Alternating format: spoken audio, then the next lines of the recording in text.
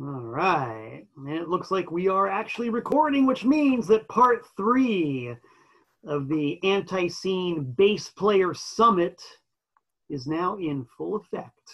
If you're watching this, that means you're most likely live yourself on the ANTiSEEN Facebook page, but we are pre recorded for your entertainment pleasure. We are Jon Bowman Former Hello. anti hey, there he is. Former ANTiSEEN bass player, current ANTiSEEN mixologist, mastering engineer, and general audio dude.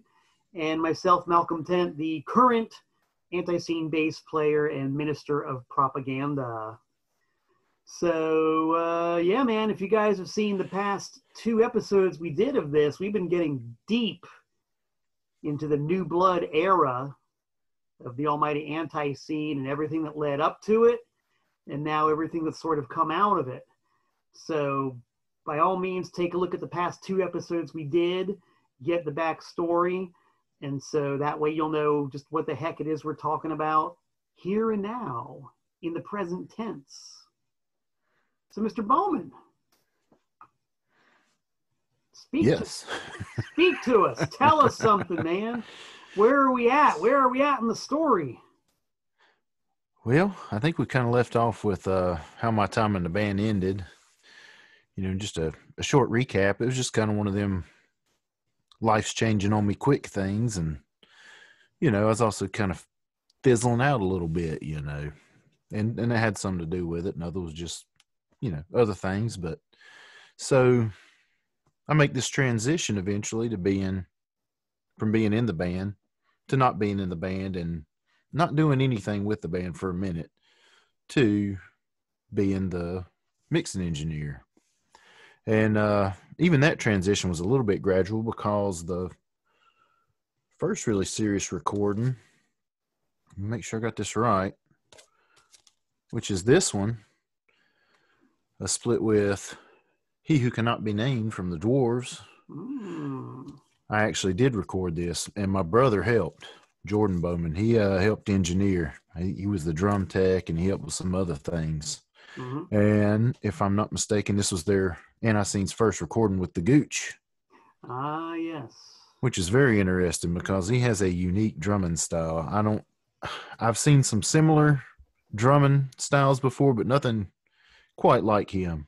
No. And he- he is fantastic. I mean, I, I can't. Yeah, I, I I was always thrilled to see him play because, and if if if you're unfortunate and, and missed it, anybody out there, most drummers, if they're right-handed, they'll ride the cymbals with the right hand and hit the snare with the left hand. But Gooch, if he was going to ride the hi hat, his left hand would ride the hi hat, and his right hand would beat the snare. And then if he goes over to the ride, it switches his right hand beats the ride and then his left hand hits the snare. And it's just all seamless. It's just ambidextrous bombastic. And then his parts are very uh creative and very like um they fit the songs really well but they're also had this like cool classic rock thing going on i always thought. Like the the the more uh you know some of the intricacies you'll find in in classic rock you don't you don't normally find in the punk rock but he had it going on. So that was fun. Now recording him that and barry will tell you the same. It, presented some challenges sometimes that whole Mm. ambidextrous thing could be really really hard to to get on a, a recording and get it very balanced you know but it was still great. And, and we and we would get there. We would get there. Because I would be tough, imagine, not not to, to don't step on you, but um, if a guy is playing the snare with one hand and then the other, I would tend to think there'd be a volume difference from one Yeah. hand to the other. Yeah, there, there there would be, and it's it's the kind of volume difference where if you're in the room with it or it's live, you'd never notice. Mhm. But when there's a microphone that close from the snare, you know, to the snare head, you'll notice on the recording. And you've got to you've got to work with that. You know, you might have to ride the faders a little bit, do some automation or compression alone might handle it. It just depends on the song and and what's going on. But I, I knew that would be a challenge, so I, I brought my brother along, and he helped. He was a really big help. Right on. And um, I guess that would actually that would apply to everything too when you think about it. Like everything that he's playing with either hand is going to be like a different volume right across the whole board. Mm-hmm. Yeah, it, it could be. Yeah, most of the time it was it was pretty consistent, but there were times where it was it was just a, a bit much, you know. Mhm. And uh, but this this record came out of that that session. This was recorded at Tremont Music Hall before it closed. Mm. Gooch was on the stage and recorded the drums up there, and then the uh, other amplifiers were down on the um, the floor. And this was over on the small side, what they used to call the Casbah. Mhm. Before I go any further, I'd like to point this art here is fantastic. I love this art on both sides. That's Ryan Gillikin. He uh, does these Oh. Paintings in blood, which is amazing. And I believe Jeff's may have been done with Jeff's own blood. I know Hmm. there's a there's a portrait of Joe Young that was done after Joe passed that's in Jeff's blood, which is really awesome. And then he who cannot be named got the same treatment on the back. And nice. The my favorite song he ever did is on this called "Better Than You." That's my that's my theme song. Anytime I'm hating on the world, you know, and think that I've got it all figured out, and nobody else does, I just turn on "Better Than You," and that's how I make myself feel better. Sounds good to me. And, and I, I believe this was Russ's first first recording with Anti as Oh, a as a guitar player. I, I don't remember if Russ was ever. There's so much guest things that went on when we would record that, um, you know, some of them would go uncredited, you know, and it might be just somebody helping with the backup vocals or something. But but I think this is Russ's first guitar de- debut, wow. and this is a, a fantastic seven inch if you can get a hold of it. yeah, I know. I don't have one in my collection. I got to add that one to the list. God Okay. damn. What so label?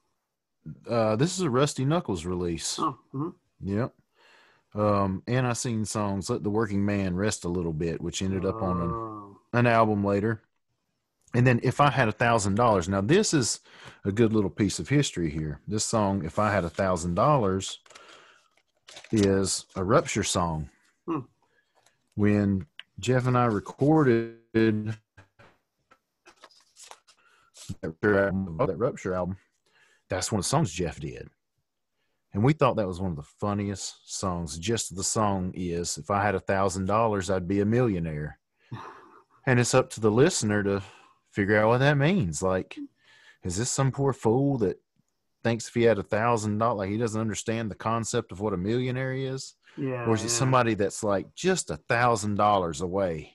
I'm just a thousand dollars away. Like, if I had a thousand dollars, I'd be over that line, you know. So Uh, it's just it's so simple and so entertaining. So that song was done for Rupture.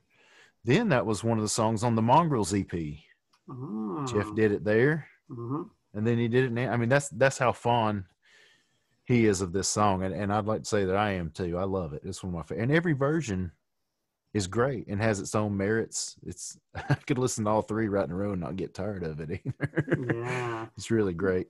Good companion piece to If I Had a Million Bucks as well. Oh yeah, definitely. Yeah, I forget about that song. yeah, well, you know, it's like I think what 20, 25 seconds long. I think uh, from the EP royalty. For anybody who's got long memories or is, you know got the EP royalty reissue, you'll recognize that one.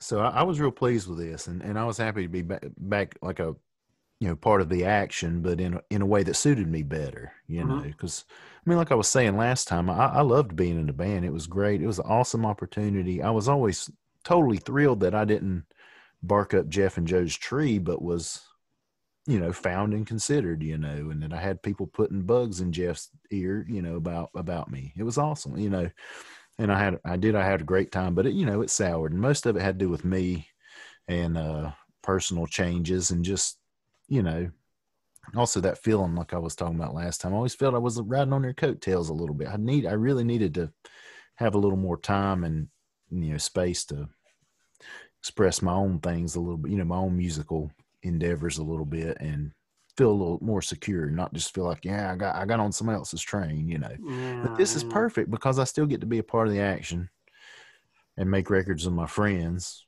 you know, and, and then have that other freedom, you know, to do the things that I feel like I need to do otherwise. You might as well mention that other band in question that you're still in and is still very active to this day. I didn't pull my record out this time, but I will. That's War Boys US. War Boys US. That's Um, myself, of course, Brian Smallwood, who was previously in the Flat Tires, Brandon Smallwood, his brother, who was previously in the Flat Tires, and my brother Jordan, who right before the Flat Tires came to an end or a long hiatus or, or whatever they, they are, which I, have never been sure, was their their their final drummer. So uh, and uh, I hate to say my brother's kind of on his way out due to health reasons, but and that's been a hard thing. It's kind of obvious to us all, but we just none of us can seem to just push the button and say it's final. But it, it's it's about you know it's coming. Yeah, I guess it'll it'll come the day we find the person who you know takes takes his place. But we want to keep him we want to keep him involved because he is a fantastic artist and he has a good ear for um, recording and mixing music as well.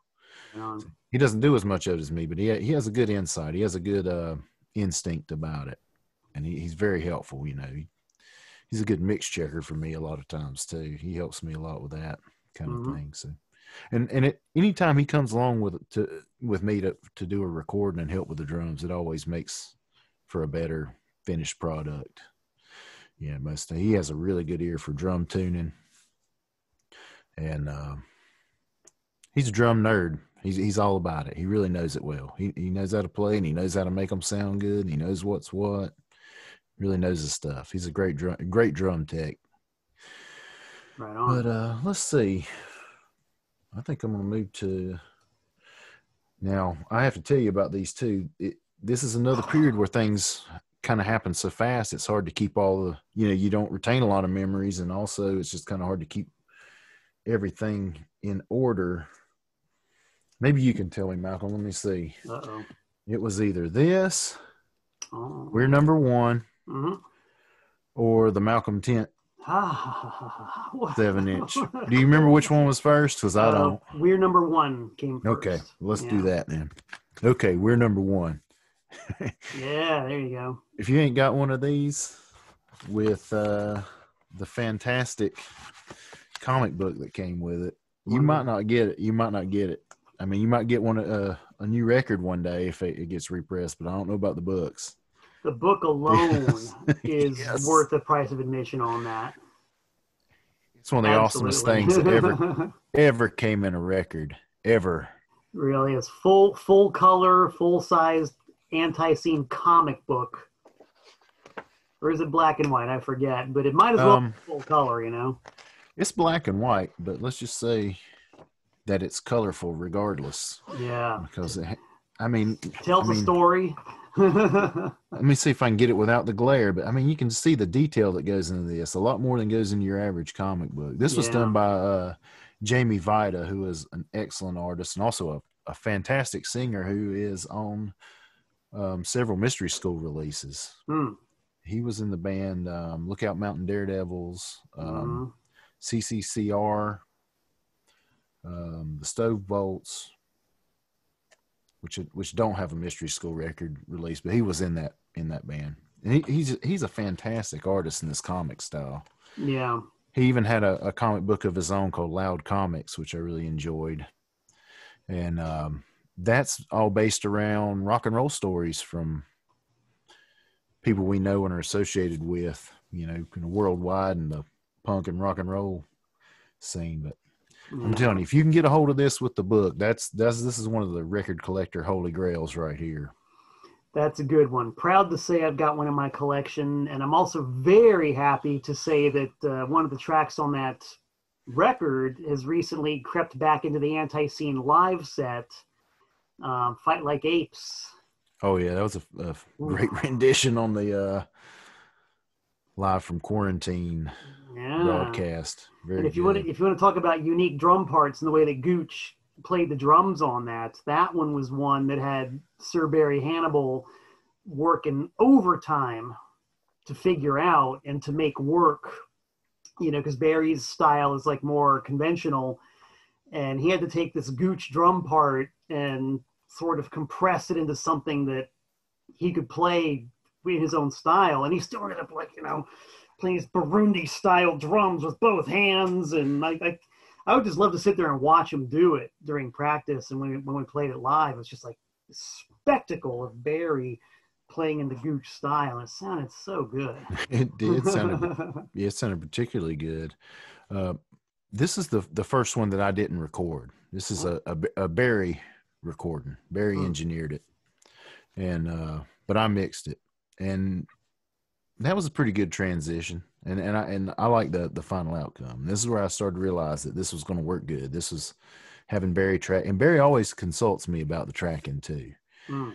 You know, especially in these the first few where he tracked and and I, I didn't come and track, but he's got a great handle on it now. We've kind of got a little formula going, and he's got a, a formula for the the recording, and, and some things change from time to time. And there's there's always a little experimentation to try to reach a little bit more and, and get a little bit better. And mm-hmm. and the same goes for me with the the mixing.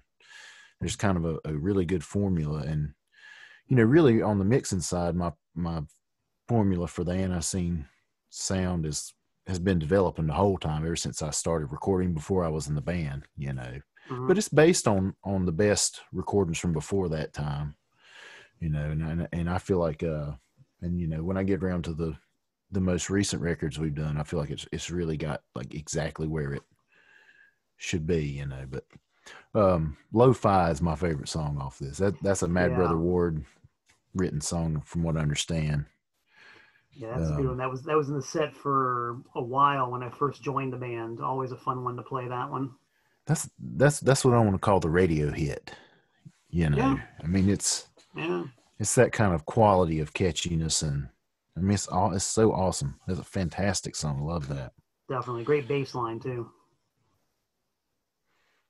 Yeah. So now, like from here out, some I, I don't I don't, I don't have as quite as much to to share about some of these records as I wasn't there for the recording, just for the the mixing, you know.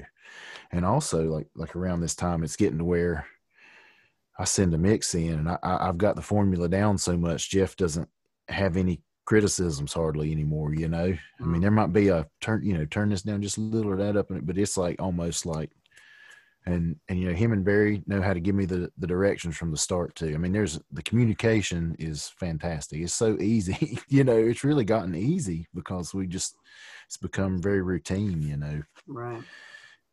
And at the same time, it's it's kept fresh by good ideas, and you and there's always new ideas on every record. It, it they never cease to amaze me with ideas they keep coming up with. I mean, it's yeah, it's it's, something to, to actually be on the inside of that process and to witness it and participate in it because there's always that push to keep things fresh and original. Obviously, there's a style that we have to adhere to, and you know exactly what I'm talking about. It's like it's got to sound like ANTiSEEN, but part of sounding like ANTiSEEN is not doing what people think the band is going to do and, and not doing stuff that's really as obvious as it seems like it might be. It's all about that little swerve here, that little jog over there, that little trick inserted over there, and you put it all together, and you've got this kind of mosaic of uh, what is going on. My props getting moved. My lighting rig has been oh dear compromised. you must have must have a union stage crew over there, Jon Bowman.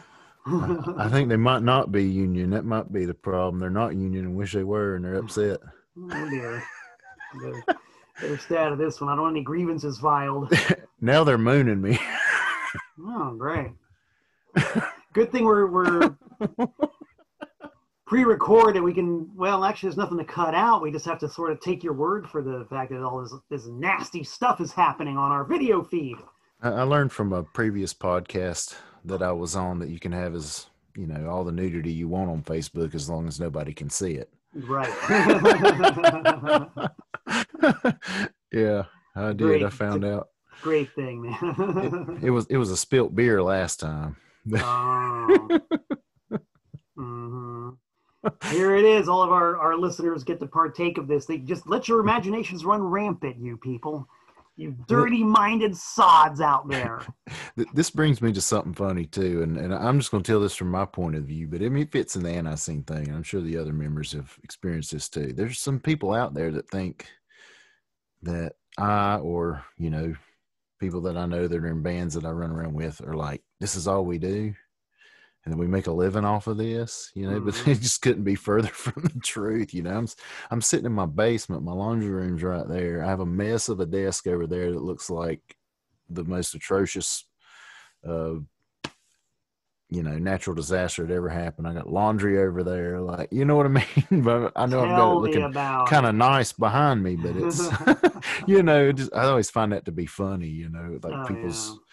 We would hear things their perception of us a lot of times on the road and things, you know. it's just very funny, but yeah, you know, there, there's some money to be had, but it ain't enough to live off of, you know. Not yeah. I know. I've always thought it's it's about one's ability to jump through as many hoops as possible and be really good at juggling, and that way you can get by. yeah, and my main point for for pointing that out too is that we're you know we're doing this for the love of it, you know, Oh and yeah.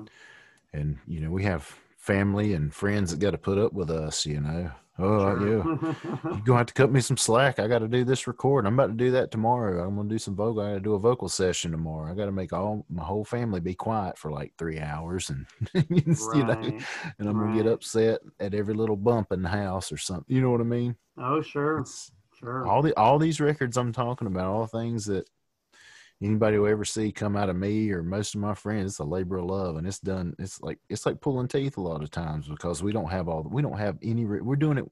The only resources we have is the new technology that's become accessible and affordable.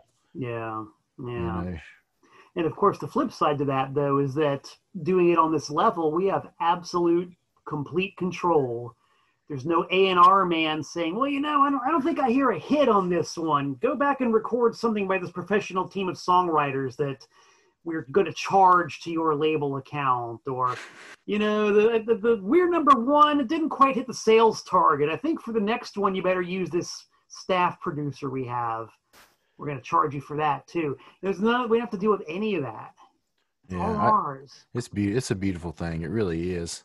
You know, I I mean, don't get me wrong. Sometimes I have the the fantasy of you know being king shit with a multi million dollar recording budget and making the, you know, grand, you know, the, you know, the gem of my entire catalog, you know, or whatever. Uh, But yeah, I know I know that I would have to sacrifice that too. I'd have somebody to tell me what to do. You know, if if, yeah. if I want some guidance while I'm working on something, I just lean on one of my friends, you know, and tell them, shoot me straight. You can hurt my feelings, you know. And if something's good, they tell me it's good. If if it sucks, they tell me it sucks, you know, and I adjust, you know. And I love Yeah. that. That's a beautiful thing, you know. Definitely. There's the the artistic purity. You can't put a price on that. now let's talk about one of the best Ah, team ups ever. Let's. The record that just had to be, just had to happen. Yes. And it did. Look at that. I like how it doesn't say anything crazy like the Malcolm Tent split or the it just says ANTiSEEN Malcolm Tent. That's all you need to know. That's all you need to know. Yeah, that's it, man. That's it. Who would have ever thought that you're looking at like a sort of prototype version of the current lineup of the band? I never would have guessed. So yeah, that that's the thing too. I did, I would have never known. I'd have never known and said, hey, in a year or two, Malcolm will be in the band. Yeah. I'd have never never known. Yeah, you know, for, for me, if that record had come out, that would have been enough. You know, just the fact that I got to see my name on a record with ANTiSEEN. They do one of my songs, I do a couple of theirs. Really? Like, could you really ask for a whole lot more? Well, no, but if it comes mm-hmm. along, we'll certainly take it. Everything that's on here is totally suitable too. I mean, it's just like I mean, this is you know, in case anybody's confused, this is a punk rock record. This thing Hell is yeah. rude, crude, lewd, and not for your parents, and not for your preacher, and not for your teacher. No, you It's can't rotten, play. Rotten the play that. you cannot play the the ANTiSEEN version of "Don't Tell Your Mom" in polite company. No, and and let me tell you, I laugh my ass off at that thing. I laugh. Uh, I've got it on a CD and listen to it on my way to work sometimes. When I know I'm gonna, I'm going in for a rough day. Yeah, That will- that bright that brightens everything up. and I can have a little bit of a laugh, you know, and hmm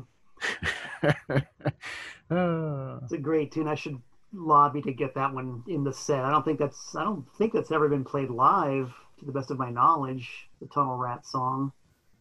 no, I don't believe so. When I was in the band, I, I, think I'm remembering this correctly. I, I'm pretty sure it was Jeff would refer to us as a rockin' teenage combo, Mhm. right? I think that the rockin' teenage combo thing really fits when you listen to "Don't Tell Your Mom." That sounds like a song from a rockin' teenage combo. Yeah. there, you know, don't tell your mom about these horrible damn things you've been doing and that have been going on around you. Just don't even mention it. You know, Yep. they're not going to understand. They ain't going to like it. It'll be more trouble than it's worth. Just be quiet. I- think I lived that for a lot of years, you know, when I was younger too. Don't me and my brother, don't tell mom about that, you know. Don't well, about, you know. yeah. that's, that's kind of what your your job and your duty is at, at that age. You know, you're not supposed to do everything that your parents want you to do. No, absolutely not. You're not supposed to when you're an adult, especially. yeah, seriously, man. The funny thing about my story is I, I didn't do what my parents really wanted me to, and uh, it come around to be good. Now they like what I do. oh. All right, so it's, as much as he tried, They, yeah, they put they, they put one record I made on the wall with like the the seven inch sleeve open, and you can see the lyrics. I'm like, y'all know what y'all put? Y'all really read that, didn't you? Really? you do know what you put on your wall. what what your house. uh, what record was that? it's it's it's the War Boys seven inch. Wow. like, you, do know, you do know what you put up, and they're like, yeah, whatever. Like, man, this is Cool. pretty cool. Yeah, it is cool. But yeah, I love this, and this I consider this one one of my best mixes. It's a good one.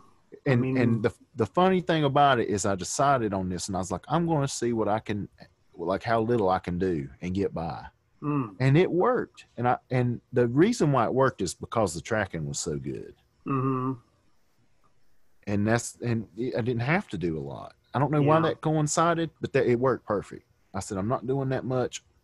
I'm doing the bare minimum. And and now it's kind of like that's that's a strategy now that I didn't have before. And that that's really important you know to do Mhm. as little as you can you know because if, if you're doing something that's not necessary you're doing too much Right. know. that doesn't mean you can't get wild you know you can start those under that premise but you know it, it's been important something i've held on to ever since and and my Yeah. record making continues to improve you know and yeah. and that actually leaves more room for the creative stuff the things that seem a little extra because i didn't spend so much time making sure those compression settings were exactly exactly perfect and didn't you know just totally i didn't worry you know so it just it became more less mechanical more artistic Right. and this was a big turning point for that Right on. you know Well, I, I do know that when I got the test pressing for that, and I put on the ANTiSEEN side, I was just like, yeah, this is exactly like when I, I wrote that song "Do It Now" with ANTiSEEN in mind back in 1992, and so we didn't they didn't actually record it until whatever 2016. So I waited 24 years to hear them do that song, and when I finally dropped the needle in the groove, it was perfect. It was like just the way I wanted it to sound. and when i first heard. Yeah, when I first heard that too, I remembered that billboard. I seen the same billboard when I Ah, was a kid, yes, and the I was billboard. like, man, in 1992, I was only like 11 years old, and I remember seeing Mhm. that and being like, damn, that's grim. yeah, yeah. For anybody who doesn't know, the, the song "Do It Now" was based on this public service announcement billboard that said "Get high, get stupid, get AIDS," and I just added "Do It Now." And um, like totally wrote it. It was I was in town for ANTiSEEN's 10th anniversary show in 1992, and it was just one of those songs that just just came right then, right then and there. And I like wrote it down as quickly as I could before I forgot it. And um, I I showed it to them soon thereafter. So that song had been in it's been on the, the back burner of ANTiSEEN for 23 24 years until it finally got to the front burner and recorded. And in the meantime i'd put it in my own solo acoustic set. It was like a really popular tune.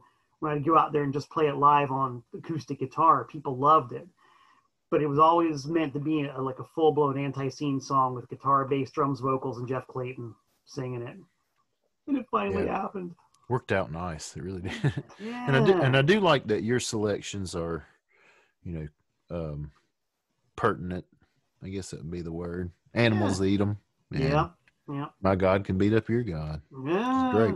Yeah. And for those who don't know the backgrounds on those, uh, Mm. My God Can Beat Up Your God is a song that my ancient Floridian punk rock bands did in 1984. And ANTiSEEN stole that one in 1992. And then when I started doing my solo acoustic thing, I simply stole their arrangement and put it in my set. So Honor Among Thieves, kids, in action right there. And then Animals Eat 'em, we all know, classic ANTiSEEN song. I just thought that since I've, I've been a full-time vegan for a very long time and a full-time vegetarian for a long time before that, what better song to do than a song about the joys of eating animals? So there you go. it's great. and, Love and it. also also to always give me an opportunity when I play that song live to tell the story of how it was written, basically by Joe Young and the band in the parking lot of my record store. But that's a big long detour. It's a story that's been told in one of my other broadcasts. We're here with Jon Bowman right now. We want to talk to you. All right. Well, here we go. Yeah. Ah, why you gotta be, man? Why you gotta be? Why you gotta be so obstinate? I mean, Mm, God, you can about say that to anybody because that's just something we're all guilty of. Stubborn, hard headed, won't budge. mm, You know, even when we do, there's some lingering obstinance there, you know. yeah. Now, got to go back in time a little bit to my time in the band. So we didn't do like a proper just standalone. This is a new album. It's all new songs when I was in the band. You know, I was talking last time. New Blood was like our album, mhm, but it was a it was really a compilation of a bunch of singles. Now, I consider it to be one of the ANTiSEEN albums, and I think that that Jeff does and other people do, if I'm not mistaken. But this idea came first. hmm. I was at Repo Depot in Lenoir hanging out with Joe, and I believe it was on a practice night, and I'm I'm sure Jeff and Phil were there too. We usually when we showed up in Lenoir, we didn't go straight to the the young residents. We went down to Repo Depot Hmm. because we want to look through records every week too, you know. Yeah. and, and give and give Joe some business, you know. Like I mean, and that was my thing. I think at the time, I only bought records exclusively from Joe. Mhm. I don't think I bought them from anywhere else because first of all, I was going there every week, and second of all, why give anybody else money when you can give one of your best friends the money? You know. Absolutely. And his prices were the most fair. Probably he probably really was just like the criminally inexpensive. You know, like he he, he probably should have charged more.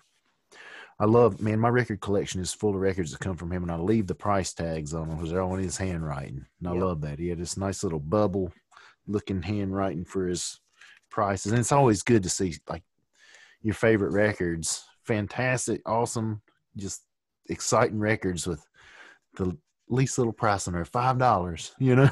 Oh yeah. I love it. I love that.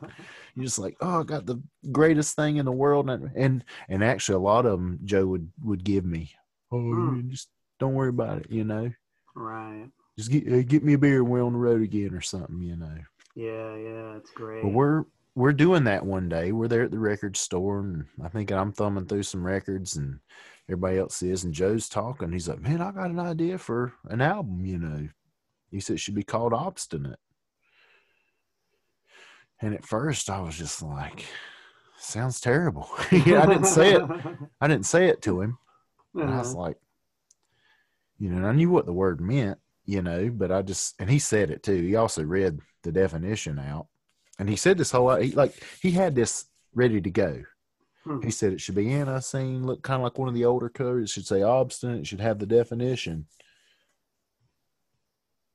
Hmm. At, at first, I did. I didn't. I, I just it didn't appeal to me. I didn't think it was. But I didn't tell him. You know, I just like okay. You know, if this is an idea, it'll it'll go. And if Jeff likes it, it'll happen. If he don't, it won't. You know, whatever. But I kind of didn't get it.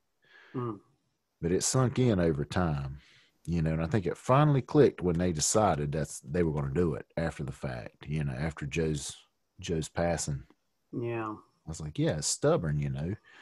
And and I really got it after Joe passed because in some kind of naive way, and maybe it was a little bit of like, you know, I think I had an inability to imagine a band without Joe at the time. Mhm. So I kind of thought it was going to come to an end when he passed. I was like, oh, damn. I was like, shit, that's it for ANTiSEEN, you know? Damn, I was like, I couldn't imagine it any other way, you know? Mhm. But talking to Jeff Young a little bit, he's like, no, it should go on. And and he reminded me, he said, you remember when, when Joe said that if, if something ever happens to him, that Rush should take his place? And Mad Mhm. Brother Ward on guitar, and he knows it and he can do it. And he did. He said that in the van on several trips we were on, you know. Hmm. I really, not only did I buy into this being a good idea, I mean, I really had no choice. Like I, I, I, did, I didn't just decide, like you know, it just it happened. Hey guys, we're gonna do this. You know, it's like nah, Yeah. Not really. It happened, and this was right, and it was it was really the perfect time to do it. Opposite, like a lot of people would say, "Man, you know, this band was always Jeff and Joe, and it can't be no other way." And Mhm. but nah, man, and ANTiSEEN's obstinate. Even when things are going bad, even when it ain't easy, you keep on doing it. You don't quit. You're hard headed and you keep on trucking. You know, even when everybody's hating on you, you know, you know what I mean? Like just, you know, Yeah, I mean that's it. I mean that's the first thing I thought when I when I saw that record because Jeff sent me a copy of it and I I didn't know it was coming out or anything. I was still not like totally in the loop with everything. But he sent me a copy of it. I opened it up and I said, "Yeah, obstinate. That's it. That's totally perfect. Perfect." I don't know if they were in the same year or different year, but I may I may have actually mucked up the order on these. I'm not sure. Yeah, I'm not not not 100 percent So- certain myself. We'll assume you're right. It's hard to remember. this was good, and this this was this was this was fun to work on, but this was kind of hard too. yeah. This was done in a couple different sessions. Usually, when Anti records, and usually when I record, I try to get at least like the drums all in one session. You know, and if there's got to be another set, you know, if it's something you can't all do all in one day, this will be drum day, this will be bass and guitar day, this will be vocals day or something. You know, no matter what my project is, you know. And I try to advise that for anybody recording anything that I'm going to mix because then you get a lot of consistency, you know. Mhm. Now, on the other hand, I can I, I can I can make a consistent record out of stuff that's been done in many sessions, you know, and I did do that on this, but it's harder, you know. It really is. It takes more time, might cost the band more, so on and so forth, you know. So I usually advise like a kind of strict recording schedule and stuff, but this wasn't quite done this way. Now it was close, but there was definitely two drum days and two drum setups. So, you know, maybe it was multiple days. I don't know. But it made a little bit of a challenge. But I also think in the end, it makes this really good. It's not just like a flat mix through the whole thing. There's a lot of variation in, in, in really good ways, you know. And there's actually some happy accidents on this that are some of the best parts. For instance, the song Static. Mhm. Hi hat was just, it seemed way too loud. You know, Jeff was telling me, man, if you can get that hi hat down, and I, I tried, and I just couldn't get it down low enough to satisfy him or me. I just had to tell him, Jeff, that's just what it is, man. It's just a big, open, loud as hell hi hat. Like it's getting the shit beat out of it, and you just can't do nothing about it. The end of the day, it almost makes the song. The Mm. song's called Static, and the, the main lyric is It's all just static to me. And then you've got, you know, yeah, hi-hat that's what. yeah, it's perfect. It's like the irritation that he's describing in the song. It's it, it's one of the best happy accidents on anything I've worked on, right on. and it's and it's a happy accident that sticks out. A lot of happy accidents fade with time. You forget they were happy accidents, and you might even give yourself credit. Man, I was awesome when I said to do that, or you know that that one's not going to fade. That that turned around on me. I don't I don't know if that's the same for everybody else involved, but it was for me. That that that ended up. I think that's a very happy accident. I just hope Jeff. I hope Jeff feels the same because he might accuse me of just trying to get my way, and I don't want to do that because it really. I'm telling the truth on this. You know, Well, even if not, just tell them you're being obstinate. there, there you go. There's my out. I, I, man, I love this album. I, I love that it's short. To me, this is almost like a return to Eat More Possum era in a Mm. way. hmm but not the same either. Yeah, you know, I mean, just just as fresh, you know, just as fresh as anything else, but also almost like a return to form. And I did I dig this one. It's actually been a while since I listened to this. I think I'm going to do that. Now, Atomic Clock. Oh yeah. love that song. Yeah. When I worked on it though, I did not love it. I don't think I've ever put more like effort like into like the most painstaking detail that I ever put into that. That was that was a tough thing. Was Like- it because was that because of the uh the dialogue? Um, pretty much anything you hear that's not just guitar bass and Jeff's vocals was a, a big stressor. Yeah, it was hard. Mhm. Like all these things needed to happen at the right time, and they were some were more or less recorded at the right time. Some things were kind of decided later. It's kind of like after it was recorded, it's like, oh, that needs to do this and that needs to do that, and it, it was really tough, you know. And Mm.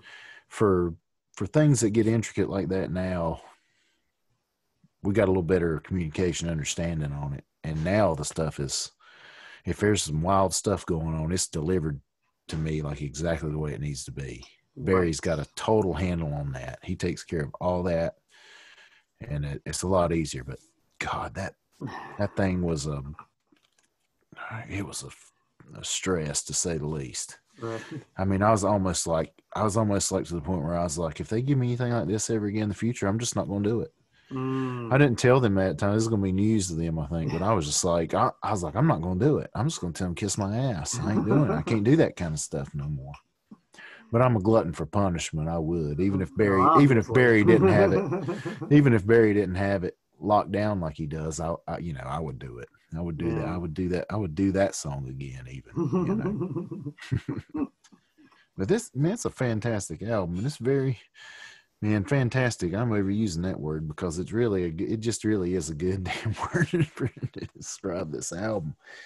It's varied too. It's not just one song after the other, same kind of stuff, you know. yeah.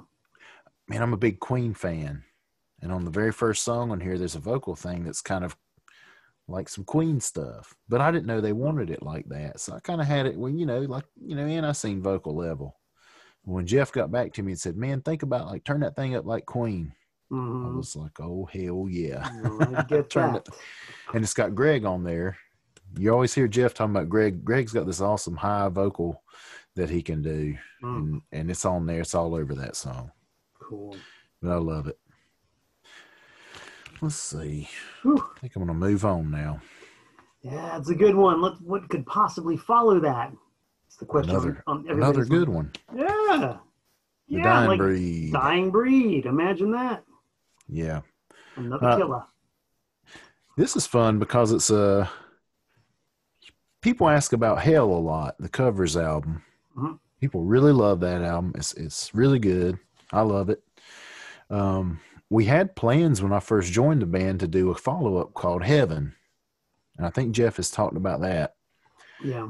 But we just didn't do it and and uh, i don't know how much i was actually considered but that might partially be my fault because i, I didn't want to start off with a covers album being new to the band i wanted to do new material Mm, because i had the song one shot one kill and i want to do that you know Right. and i and i just and also you know jeff had told me that, that the band was in bad shape before we joined it was time to re recock and get it back on track you know and Mhm. i just didn't i didn't think starting off with a bunch of covers was the way to go i may have been wrong or you know i don't know maybe i was right maybe i was right i mean maybe the the fact that we went with some originals first proves that I was right. But I don't think I had to. I don't think I had to make a big declaration or anything either. mm, But but that's what's great about this album. It's almost like a mini covers album. But this time, it's bands that NIC knows or associated with in in some ways, yeah. including Self Made Monsters. Right. Includes the the song Hook, which I was played many times live on stage. hmm And One band on there. One band though that is not uh, part of the immediate family that the ANTiSEEN covered, but one that uh, I certainly remember Oh. from when I was a kid. The Osmonds. The Osmonds. Yes. Yes. I, I'm sure that I've said a hundred times since we've been doing these interviews that this is one of the greatest things I've done. This is one of the greatest things I've done. but But you this get- one, You get to say that when you've done a lot of good shit. yeah, yeah. Crazy Horses is great. And and Jeff asked me to play the guitar solo on it. Oh. Now I consider myself to be a really good rhythm guitar player, but I've never felt really good as a lead player. I'm still just now getting kind of comfortable, and that has a lot to do with my band, my current bandmate Brian, who I was talking about. He's just such a fantastic guitar player. I'll just sit and watch him, and I've picked up on a lot, and it's it's brought me he's brought me along a lot. But this is still during a time where I was just like, I don't think I can do that, you know, Mm. or I don't know, and I or I thought it might be just like too much of a a hassle for me. Like it might take too long or not be as good as they want. And I was like, hey, you know, uh, why don't you get why don't you get Steve Wenzel to do it? He can do he can do anything from the previously of the Dead Kings, who I've played with in the band Tankified, which I haven't mentioned on here. I don't believe. But uh Jeff said, "Well, I don't, I don't want to. I don't want Steve to be on it because we're doing a Dead Kings song, and I want this to be a surprise." I said, "Okay, I understand that." I said, "Well, what about what about Brian? Did you care, Brian? You know?" And he he insisted. He said, "I want you to do it." So I couldn't say no at that point, but it worked out in my favor. It it it you know I, I learned it, and it actually suited my playing, and Mm. and I I enjoyed doing it too, and I. I Perfect song for ANTiSEEN to cover. Perfect. yes. And I really like uh, the song Fred Kirby on here by the loose Lug, originated by the loose lug nuts. hmm hmm I did not grow up in Charlotte. I, only, I was only an hour away, but a lot of the stuff they mention in the song is familiar to me. Hmm. The the line about you you, took you used to could take independence to get somewhere. Yeah. That's kind of an important line. It used to be that the main street through the the city, and you did. You took independence to get a lot of places, and I even did that. You know, on some of my trips to the city while I was growing up. And uh, then when I moved to the city as an adult, you, you don't take independence to get anywhere hardly. You know what I mean? Maybe if you're coming from out of town, you need to get to a certain location. It's a good way to go and get off on a exit and be there. You know, Yeah. uh, Tommy's Pub in particular. That's about the only reason I end up on Independence. Hmm. Um, It's a bar that I was before the shutdowns was playing that regularly, and it's an easy way to get there. But I like that line because of that. You, you know, you took Independence to get some TV. Growing up, mentioned Independence Boulevard. You know, whether whether the business was on it or that's what you had to take to get there. So that it's good. It's just one of them nostalgic type things. And then the Fred Kirby, you know, for those who don't know, Fred Kirby was a, a man who wore cowboy hat, cowboy outfit, played acoustic guitar, sang some songs. And on Saturday mornings when I was a kid, he would introduce the Little Rascals, the Aaron of the Little Rascals. And he sang that song that you hear on here. You know, how I love the little rascals, little rascals, little Mm. rascals. yeah. I guess that's the tune to the more we get together right. that old that old tune. Hmm. But yeah, Fred Kirby's a, a big memory of mine because I saw him every Saturday morning when I was watching cartoons and the Little Rascals. There was Fred Kirby broadcasting from Tweetsie Railroad, Oh yeah. where I would go sometimes as a kid. And, and somewhere at my parents' house, there's a picture of, of him holding me, and I was probably about the, the age of my son, you know, like real little. But so that yeah, I, I love that, and it's a country song too. And ANTiSEEN do, you know, ANTiSEEN doing a country song, and quite quite faithfully. Um, the Kiff song, it's like taking candy from a baby, baby. Yep. Knowledge is for fools. That's a fine band right there. That's a great band name too. I love it. really is. Kinda ex- Kind of explains like the the default attitude of a lot of people. You know, a lot of people. Yeah. Yeah. Oh yeah. That's my favorite song of theirs. It's like taking candy from a baby, baby. Mhm. Kid, kid, those guys are pretty good friends of mine, and they would they would they invited Warboys a few times to come play in in Raleigh, and and we played with them in ANTiSEEN, of course, or played with them in ANTiSEEN, of course, and uh, they have a gimmick during this song. Randy, the singer, comes out with a bunch of roses, and as he's singing, he goes and gives it to all the ladies, you know. Mhm. Well, one time he comes up to me with one, and I was just going to graciously accept it, and he snatches it back. It's a, man, this I just love the song, and and they did a really good job. And I don't know if I should should mention. I'll leave it up to Jeff if he wants to, but there is there's a sample on here that maybe. I'll leave that up to him if he wants to to mention it, but I, I won't ask, and I certainly won't tell. there might be some real deal rock and roll heads that can identify it, but I doubt it. I really Huh, doubt. all right, I'm gonna have to go and listen to that with a new critical ear. Probably tonight when we're done. Well, it's fresh in my mind. You might be able to get it. I, I'll put it to you this way: I would have never been able to get it, and I don't think it's anything you could ever anybody could even prove, really. But Hmm. It's right. strange, you know. It would Challenge be really hard. accepted. Challenge accepted. Let's see.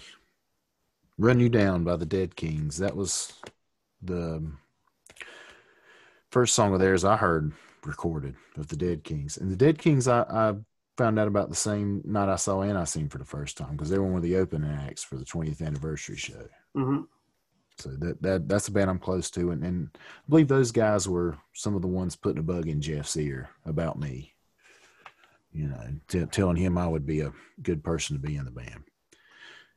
But I love this record. And it, it was pretty easy to do. It was pretty easy to mix and get done. And I had a good time. The art's fantastic. It's got more uh, Jamie Vita artwork on it. Oh yes, yes. That's been made into at least one poster. Um, probably some flyers. I know Barry's got a framed poster of that hanging in the studio. Looks great as a poster. That's the. I think that's the cover of the Overrun edition of this, with the. Yeah, It's got a different sleeve, and I think it's that on the front, if I'm not mistaken. haven't seen mine yet. It's actually waiting at the post office right now. I was supposed to go today, go today to pick my copy of that up at the post office, but we had a. Uh, I don't know if it was actually a tornado, but we had some very heavy weather today, and the post office lost power, so I couldn't go and pick up my copy of the Dying Breed Overrun, which I really want because I too am a collector. You know, I'm not just a member of the band; I'm an ANTiSEEN collector. Uh, that's one reason why I love talking about this stuff because it's cool. It's fun. Something I something I failed to mention about this era of the band and my involvement is this. Also during this time, the Dean Assad's come back into the fray. Mm. and I'm literally everything comes out of his mouth is funny as hell. He is hilarious, and I didn't know it, but he he's from pretty close by where I'm from as well. He's about as close as Joe was from where I'm from. Mm. So it's that's another. That's I've I've met him once, I think, in person. I've talked to him online a little bit, and uh, it's same kind of thing. Just the kind of person that you just feel like you've known all your life. It just kind of character you you would have experienced, you know, growing up or farting around in your hometown. You know? Yeah, yeah, yeah. He's, he is funny as hell on uh I believe it was on Lord, I got records all over the place now. I believe it was on We're Number One's where he come back, I think, and that's where they I think it's that one where they talk about the ANTiSEEN hotline. That is the funniest little skit I've ever heard on a record, I think. And the the small little things on that that maybe like go you know just go by other people and notice Like Jeff is sucking on a straw like a like a totally almost empty soda full of ice, and he's like, you hit a you know in between talking. and then the Dean Assads gives his big old spiel like it's the ANTiSEEN infomercial, and then the talk at the end about there not actually being a hotline. right. For anybody that hasn't heard that, you got to go. You got to hear it. You got to listen to that. Gotta hear it. You need the that, record. Save it for a day when you need a good laugh because it's going to produce one. Right on.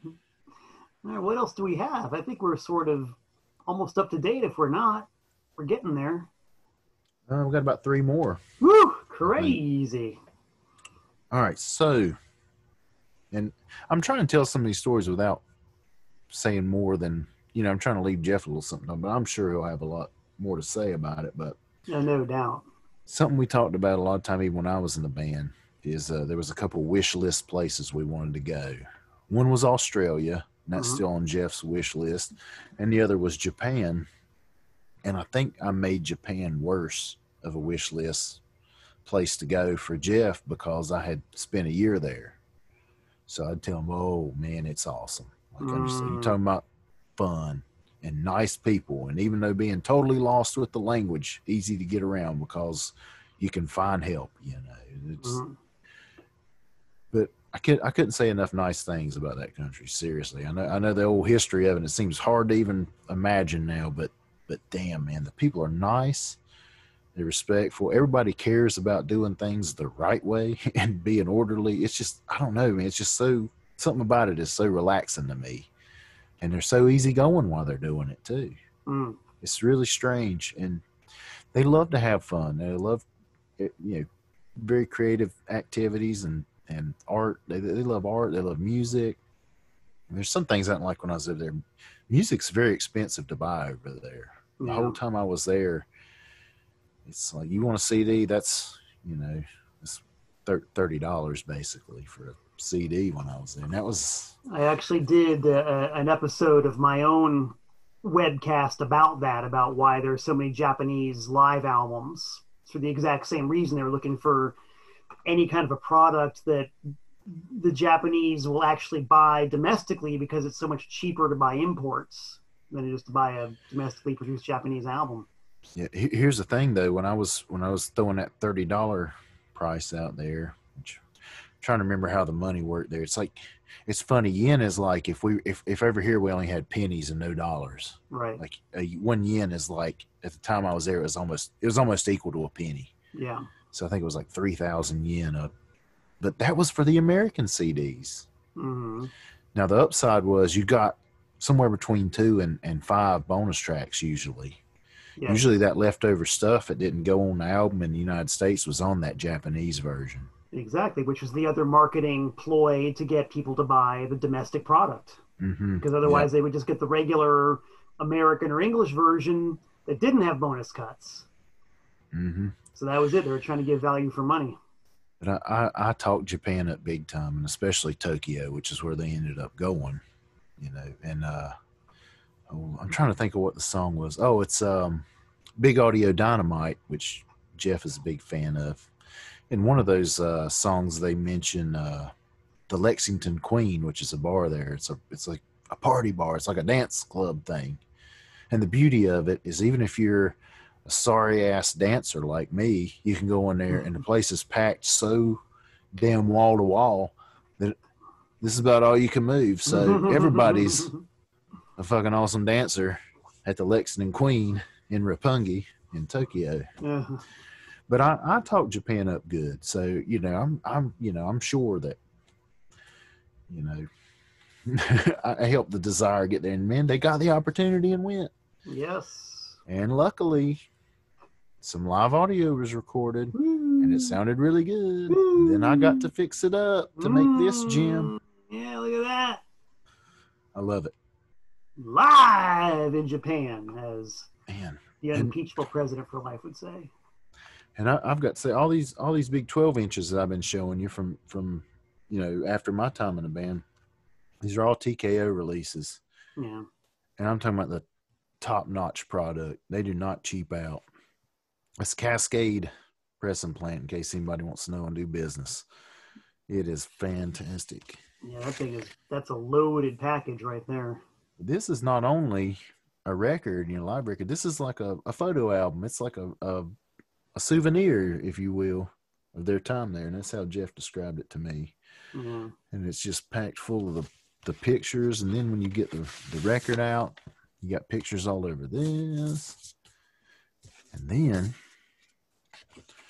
when you pull the record out, you got it your is. big Japanese flag. You have to salute. And then on the other side, you got your favorite band.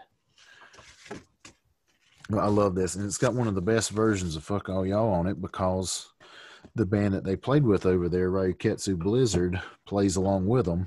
hmm and just make it sound so damn cool. And something I've always liked about Japanese bands is they'll do covers of songs in English, and even if they don't speak a word of English, they'll just learn it phonetically and do it, and they'll do it as close as they can. But it just like it's it's close enough to be the song, but it's different enough to be this whole other thing that you can enjoy and. And it's also gets kind of comical as well because Right. you just hear you hear some words is just like, oh man, so that's what that's what they heard. Like this is what the word really is, but they heard this, which sounds like a whole other word. You, it's just interesting. You can listen to it a hundred times and notice these nuances, these different nuances every time. But Sure. It's a it's a great recording and a, great performances. It was really fun to work on. I love that. Wish I could have went. You know, that would have been great. I, I think we all do. I'm, I'm, personally, I'm, I'm just sort of waiting for the next time, you know, waiting for the phone to ring and say, "Hey, come back to Japan." And it's like, if it happens on my watch, I wouldn't complain. Well, I hope y'all get to because it's it's an experience. It's almost like going to another planet. Mm. And I really had they only got to spend a couple days there. It's really it's not enough time to really take it in like you need to. Yeah. I mean, I, I spent a year there and it wasn't enough time. but I also think that's cool. The first time I ever heard of ANTiSEEN, that's where I was. In Japan. Yeah. In a library, and, reading a book. And then they get to go all these years later and they get to work on the record after yeah. have been in the band. I mean, it's just I couldn't have predicted. There's no way. There's you know. See, there you go. It's another one of those circumstances you just can't guess.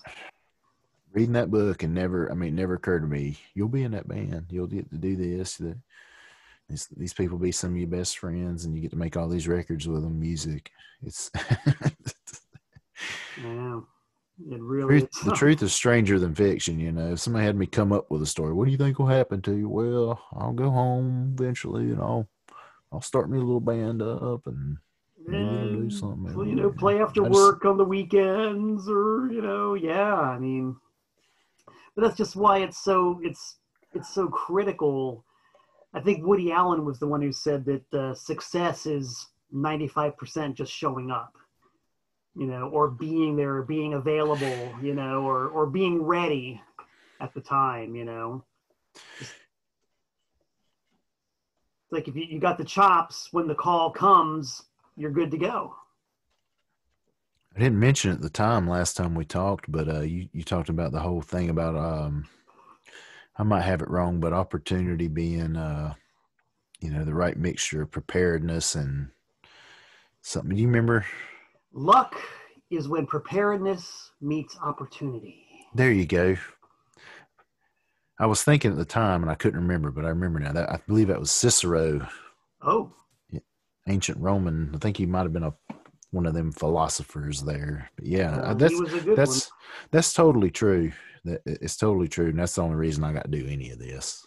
Exactly. You know, I think about my, you know, the, the reason I'm in the band right now is when Jeff Clayton sent out an APB looking for a bass player, I was apparently the first one to text back, yes. And that was it. Did you ever think, like, how the hell am I going to do this? I live 13 hours away. I didn't even think about it. I, I just said yes. I put no, no thought into it.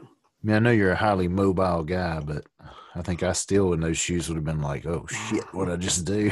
well, you know that, that was that was part of it, you know, and that I think that's I think that's where the preparedness aspect of it comes into it because when I do my solo acoustic thing, or when I'm playing with Ultra Bunny, or you know, doing my noise project, my benchmark as it is is to play 60 shows a year, you know, and that means a lot of road work. So I'm already hardwired to be traveling for 60 days a year. It's like that's what I want to do every single year with whomever. And so, you know, when ANTiSEEN needed someone to play bass for the I Hate God and, and, the Obsessed tour, which was I think 11 days total, I was like, great, that's 11 out of 60, no worries, let's go. And um, however long it was, a week later, 10 days later, I'm there at the rehearsal space in Charlotte, ready to go. Um, unlike you, we had two rehearsals. you had one, we had two. so I keep lamenting the fact that my memory is so bad, but I just remembered another reason why my memory can be so bad about my time in the band. That's that Joe kept up with so much. He mm. always kept a calendar. It always had our dates on it. And he even kept a record of our old dates we had already did on the wall. And he was always interested in those statistics. And uh, he he was a, he was a sports fan, not a really over the top one, but he he you know was a sports fan, and like that played into that. I think that statistics, and he always would tell me how many shows we played that year, and yeah, yeah. You know, and, but that's why I can't remember them. I always just relied on him to yeah. do all that. You, you, you never had to, you know. It, it's odd. That's one of the, the features on my website, which is malcolmtent.net, M A L C O L M T E N T.net. I've got a page on there that's my entire gig history from 1983 to the present day. Damn, Every single show. I can't even do that for Warboys, and we've been only a band for five years. I mean, I think that I actually worked it out through flyers one time, but I'm sure that I'm off by a few. There's always going to be a couple. You know, I, I just found one. This, this won't mean anything to anybody, but I was digitizing a bunch of tapes, and I came across this old cassette. I don't know if anybody can actually see this. Came across this cassette of a gig by this one-off band I had called the Gregor Samsa Experience. We played exactly one show in 1991. and I of course taped it because I do that with everything, and this wasn't on my gig list. So it kind of it totally made my day when I found this and was able to digitize it, and now I can put it on the official gig list because I'm just that way. I'm just that way. I love statistics. I love keeping track of things. I love seeing that actual, real, factual history. And it's not just me, anybody. You know, like I'm, I'm a big fan of like the Kiss Fact Book, which is like nothing but dates of gigs and locations and attendances and you know who was the stage crew on this tour and who was the lighting crew on that tour. I just love that stuff. Just information. Have you have you kissed nerded out with Russ yet? He's got me beat, man. He he and Barry.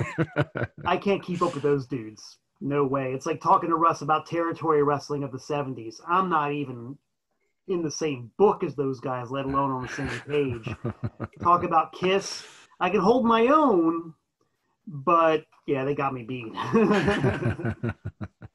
That's great. yeah, I love it, man. The, the van rides are never boring. You know, No, we and we made it a point to never listen to music and never listen to talk radio. We always had conversation. yeah, That's what it- we did, or or quiet easy. if you know, quiet if we needed sleep and stuff. But yeah, and uh, yeah, I never got tired of the conversations. And Jeff and Joe's stories were always good. You know, it's it's a lot of the stories that that Jeff has told since he started going live. I knew already, but they're still great stories to listen to because you might get a detail you didn't get last time. right. And plus, it's us doing. This is what we do. It's You- it's rock and roll. And just yeah, the stories are always good, even if, if you don't get the the extra detail, you know. And and I think I think we had a really good time from doing that. I mean, I just I don't like getting in a van and listening to a bunch of music when I'm with a bunch of other people, especially if it's people that I like to be around and interested in what they have to say unless of course unless of course we're all marking out to the same bands you know? It's like on one of our drives russ put on some grand funk and that's like that's my trigger right there when when the grand funk starts cranking. So we're sitting there analyzing every song on the album and you know dissecting it and picking it apart and the same thing will happen when they play kiss. It's just that to me is as much fun as almost anything. This Well, you see the the key there is there's still conversation. Yeah. True. True. Yeah. We're not just we're not just vegging out. We're like really, really getting into it. All right. And speaking of getting into it, let's move on, man. We've been here for 77 minutes so far. We've still got two releases. go, serious? man. 77 minutes, mother. 77. Almighty. All right. Anybody that knows me knows that I hate Christmas. I don't give a damn about it. I don't like it.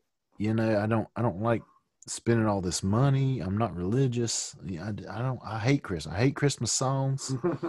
You know what I mean? I hate being in stores. I hate buying stuff. I hate spending money. But I like this Christmas record yeah.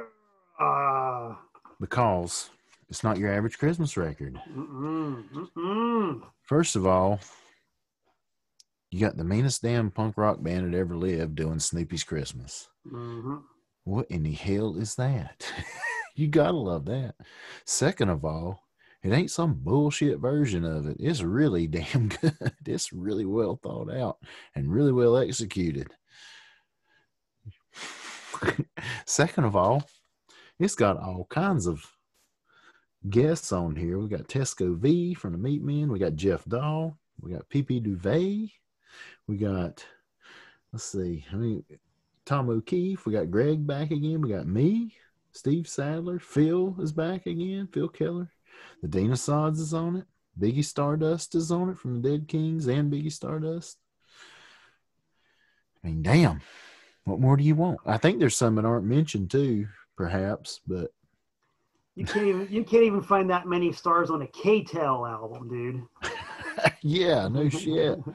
That's good, but this was this was so much fun. This was something different, and I liked it. And it actually made my Christmas a little bit better because I actually had some Christmas songs that didn't make me want to die because I've heard them a million times.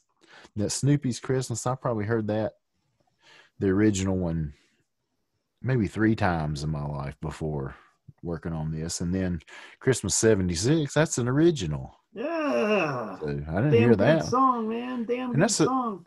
and that's a realistic Christmas song.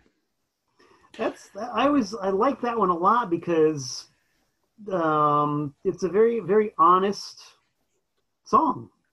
It's a very honest and very emotional song about a very special and real time in somebody's life.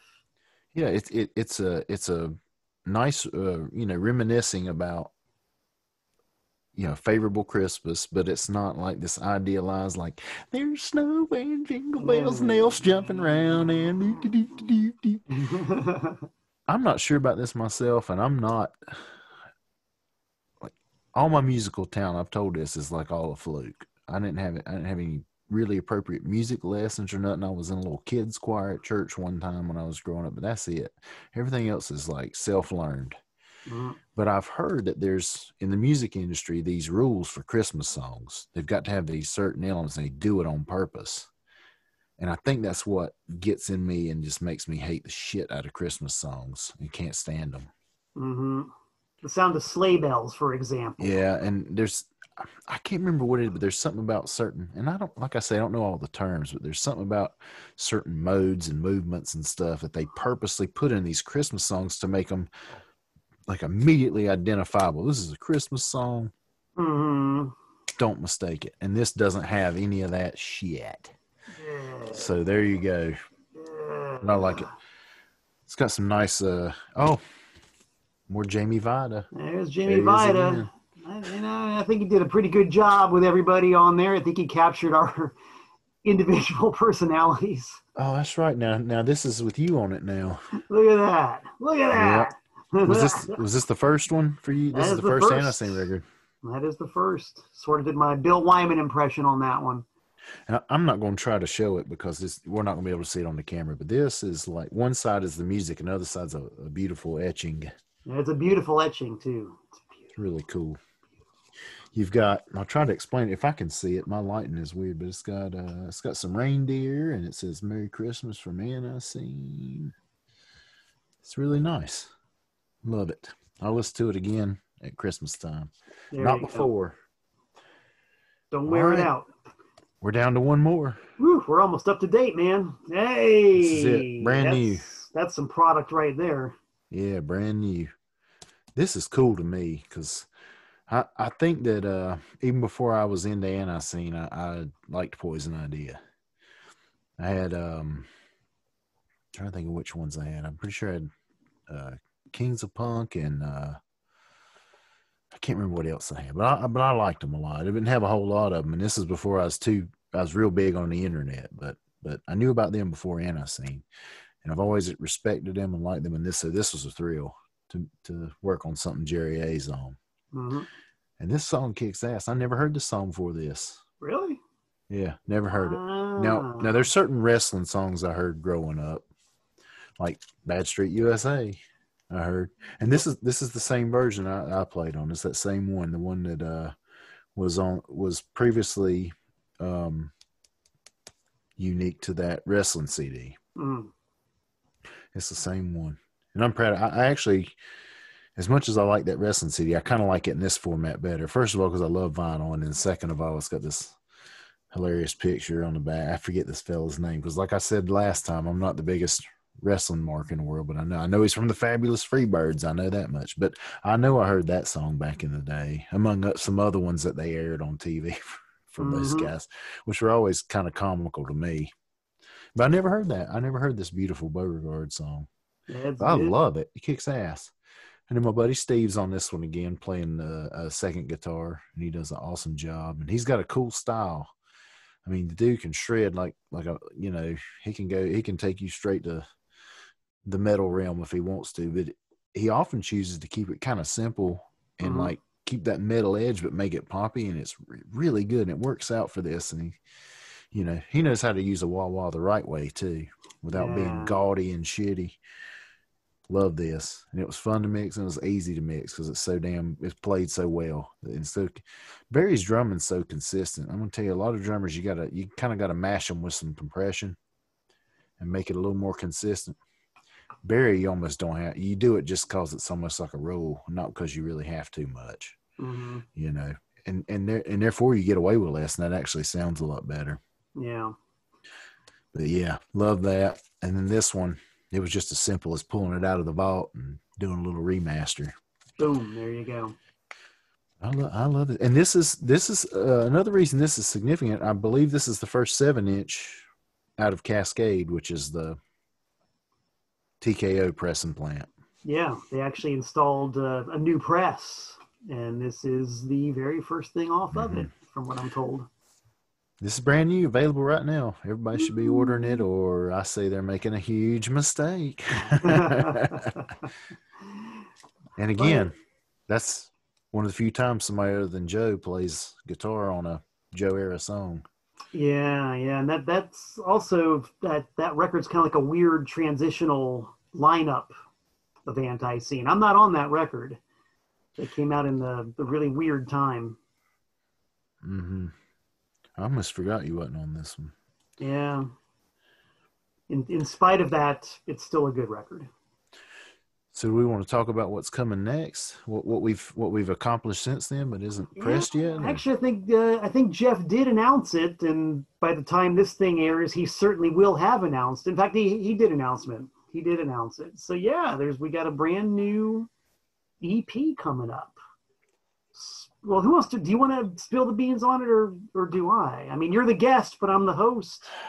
You're the engineer. To, I'm the bass player. I mean, I'm just trying to think of who would be better because uh, I don't know what whose well, idea here, was. That's what I want to know. Whose idea was it to make a concept now, like you know, a, a minute?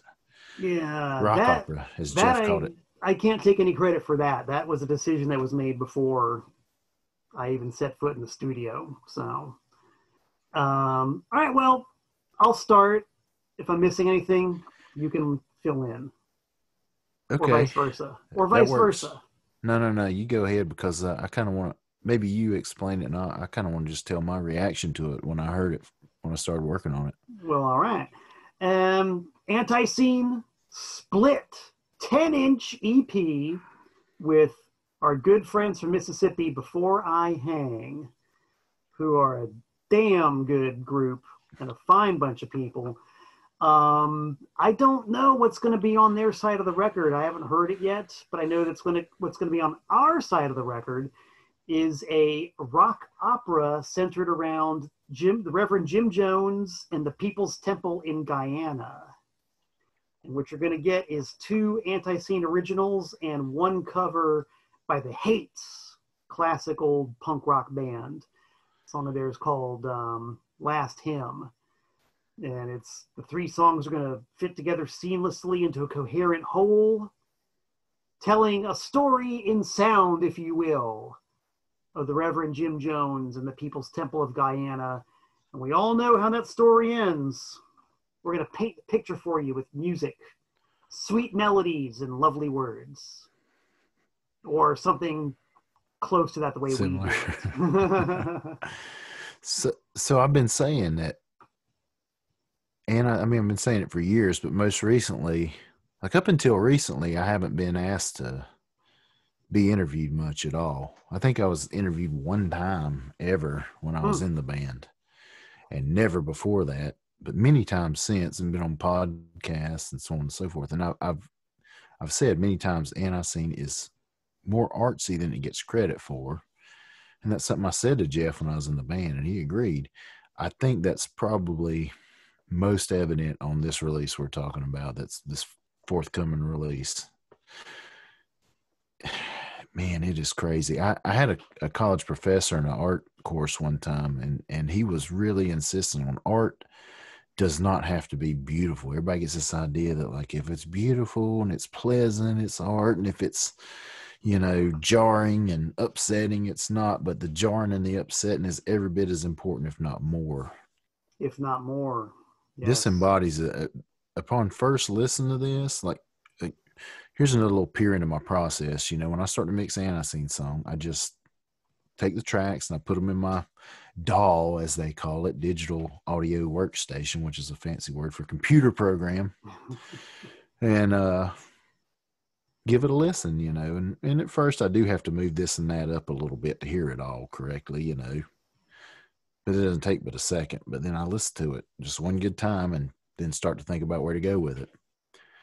And the first listen, I got that whole effect like jarring, like disturbing, like put you in the setting. Like, like we say, we're mm-hmm. talking about the the whole Jim Jones event down in Guyana. Like it, man, it transported my ass there, and I was like, God damn! I was like, I'm kind of scared. like, this is not cool. Like, I mean, it's a story that I've been interested in my whole life. It happened before I was born, and I've always been kind of like God, when I would hear the story or watch a documentary about it, it's be real unsettled. But this has this has that same it's same effect. You know, the imagery from it comes to mind, and it's just Lord.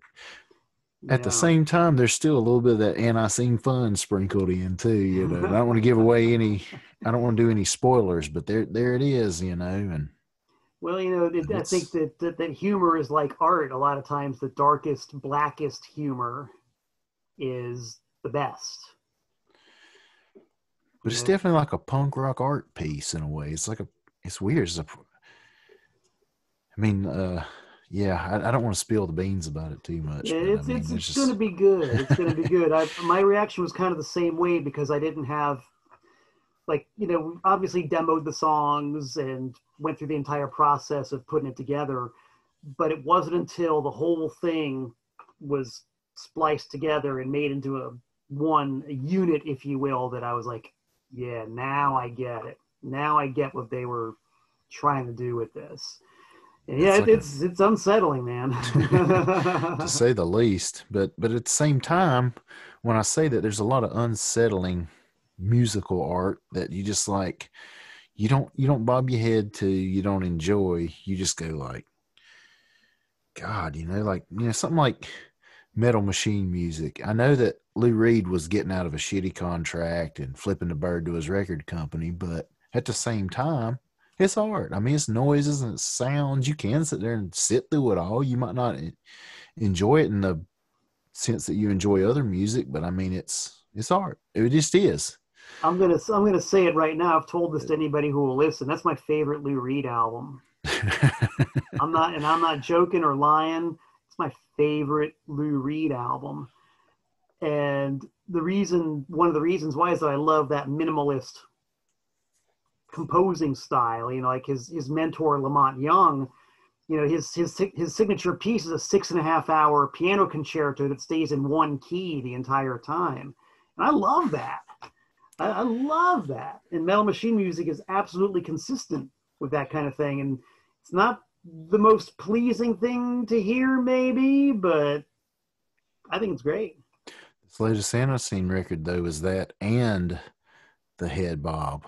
Yeah. Like you're gonna be jarred, you're gonna be like, damn, and it's like, but you're also gonna go like, shit. Yeah. I think we'll just leave it at that. We'll give the people something to look forward to when this thing comes out. Um, I'm not exactly sure when it's going to happen. As, as far as I know, everything is in place right now. We got all the tracks from everybody. The cover art's being put together. So it's really, it's just, what is she doing now? I don't, we'll try to keep this clean. We don't want to know. Yeah. Uh, I'm not opposed to it. I'll just put it to you that way. Okay, I mean, that's it, fine. It she knows how serious I'm being, trying to be professional and trying to send me off the rails. yeah, well, this might be might actually be perfect timing because I think we've we've done what we got to do, man. yeah, man, I think it's a good time to wrap too, and I've been looking forward to talking about this upcoming release because I mean it's it's just something it's something special. It's different. It's but I I really do hope people consider it the right way. I hope they don't look at it and go like, man, what does what does ANTiSEEN think they are, man? All right, like, hey, you know what? Who cares? hey, one little interesting uh, factoid before we go though is when uh, when you guys were working on it, Barry called me one day and we were just kind of it was kind of we talked fairly regularly, but this was kind of we're getting ready to do something again, talk, you know, and he's like, "What what's your band been up to?" And I said, "Well, I said uh, we we're tackling a pretty big thing right now." I said, "We're working on a song. It's one song, but it's like seven minutes long, and it's like really it's three songs jammed into one with one title." And he's like, "Are you kidding me?" And I said, "No." he said, "That's exactly what we're doing." it's like, damn, I had the same idea as those guys without, you know. And now I say the same idea, but it's not the two songs are not the same. The one I'm talking about is is Warboys' song, the A Fire in the Void. Mm. It's, a, hmm. it's a song about being so fed up with life here that you're just going to try to go elsewhere and live. And when I say tired of life here, I mean on this planet. you're going to try to go elsewhere in the universe and live. Cool. Which is a fantasy and always will be. I want everybody to know that. That's my official opinion but I like fantasy. But, but yeah, I just thought that was cool, you know, that we kind of was working on similar projects at the same mm-hmm. time. But I'm looking forward to seeing it out and seeing what, you know, what the art is going to be like and everything. And, and also hearing the before I hang side because I'm, I'm good friends with, uh, with some of those guys too. Yeah. Really good dudes. Um, I'm personally like, I'm personally really excited for this thing. It's, it's to be good. So you mentioned Warboys before, man. Give the give the band a plug one more time before we sign off, so people know about your uh, your current doings. Yeah, the band is Warboys US. I spent a couple years doing next to nothing after I left ANTiSEEN, except for working on some ANTiSEEN records and um, Tankified, which is a band, a kind of a super group. It's uh, Barry Hannibal and Steve Wenzel and myself. We have two albums uh, Tankified One and Tankified Two, really creative there, but the songs are better than that would let on. You know, they're they're good. It's actually, I, I, will vouch for that. Tankified's gotten a lot of airplay on my radio show, and I only play what's good. So. Yeah.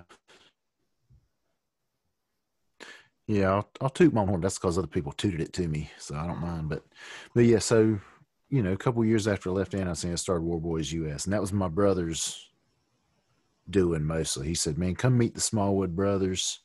They'll be like your new brothers." And and that's exactly what happened. I mean, I'm I'm really close to those guys. I love them to death, and we make good music together. And really, it kind of sucks that my brother's about to have to kind of bow out and take on a different role. He's kind of going. I, I I really would like my brother to do what I did with ANTiSEEN. You know, what I mean, mm. he's got to leave the band about, but doesn't mean you can't take on a good role. He can. He's he has art, incredible artistic abilities, and like I said, a good ear, so he can he's got a role to play if he wants to. But you know, we're kind of just getting started. We still got a lot of good stuff to come, a lot of songs in the vault. But we have uh, we started with an album called Hot Brass. Just right off the bat, we start we did an album before we even played our first show, hmm. and then we followed up with an EP called Man Alive, and then we followed that up with we did a German language single. Oh, I never heard that one because I I can speak and understand just a little bit and teamed up with um, Toby Plumenbaum, who's a, a, German fan of ANTiSEEN. And we took one of the, we took the song Hot Brass and made a German language uh, version of it and had the idea to do that because some other bands I really like, such as Turbonegro and Bad Religion, had done that. Unfortunately, I've kind of found out that's really kind of unnecessary because like almost the whole country is bilingual, so you can just keep doing songs in English and they're okay yeah, with that. but it's cool. but it's it was cool. fun. It was a nice challenge, and I enjoyed it. And I, actually favor that version more than the other one. Just there you go. The mix is better, and it just it's just inter- it's just interesting because I sang in a language that I'm not fluent in. and then we did the seven inch that I've been plugging, split with the Tomcats Torpedo Band. Mm-hmm. And like I said, I've I've got some people to contact. I've got to I got to find out uh a way we can do some things for for Tom's family since his passing because they deserve it. And he would, Tom would really love that. It meant a lot to me. You know, just I just kind of hadn't done it yet because I'm I'm still in a in a bit of a mood about his past and other other things that I've experienced lately. But mm-hmm. we did that seven inch, and then recently we did a, a, digital release. We did a digital single, which is called "A Fire in the Void," and that's like our our song that I was talking about was it's about seven minutes long, which is out of the ordinary for us. But it's kind of got it's got three parts, and it kind of tells a a story as it goes. It's kind of a little reach for us, you know, and it kind of wasn't our number one song we really wanted to do at the time to record and put out, but it kind of made sense and it was kind of something we felt like it was time to do. You know, it was like time for a kind of a challenge that would push our band up a little bit. But we're still, you know, we're still working on things, even though the the pandemic and my brother's health struggles have got us on a little bit of a, a hiatus. It's not a true hiatus because we're still we're still working. So there's that there's going to be more to come. It may be a while, but there is more to come. Well, we and, shall all be standing by. And thank you mm-hmm. for asking me about that because I really didn't plan to talk about that. But you know, I love talking about what I do, no matter people, what band it is. The people need to know, and now they do. So, yes, everybody check it out. Warboys USA Mystery School Records is the label out of Wilmington, North Carolina. Fine label. And Jon Bowman, thank you so very much, man. We just we just did four hours in total of super high quality yipping and yapping and yakking and blabbing about your roles with ANTiSEEN before, during, and now after. It's pretty cool. Must have been fun because it seemed like 45 minutes to me. You know? right on, everybody. Thank you so much. This is Malcolm Tent saying so long from the Nutmeg State.